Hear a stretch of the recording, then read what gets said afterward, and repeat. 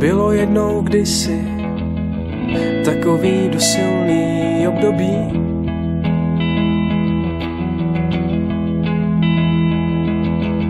A kdo tam byl, ví, kdo nebyl, tak doufám, kámo, že jsi to měl aspoň trochu podobný.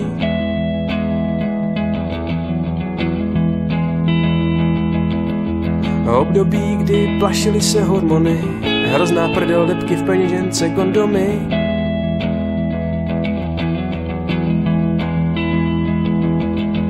Konec základky, hurá na Gimple Nejlepší vzpomínky z premianta Cripple Jen také malý Jo. To když ráno bylo hezky, tak jedině na kolech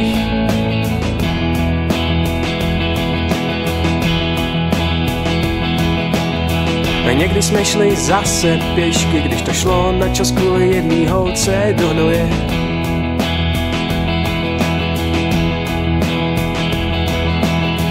Někdy jsem šel radši sám, když jsem se s nima nechtěl dělit o svý vnitřní souboje.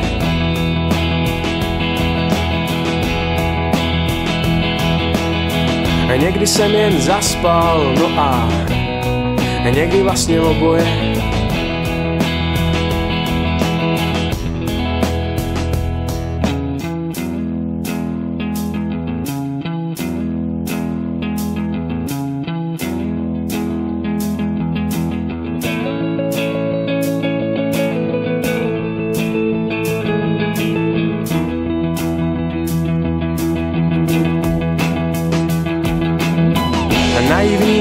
Tomu dal do sytejvosti života.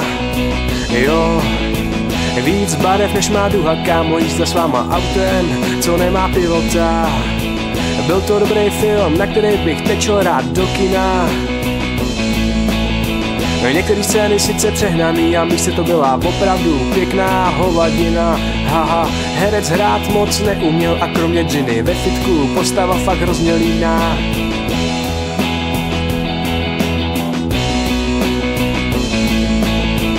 Myslím, že těchhle pár jednoduchých veršů bude stačit, abych zachoval ten dobrý pocit až do chvíle, až mi bude ve stáří v hlavě strašit.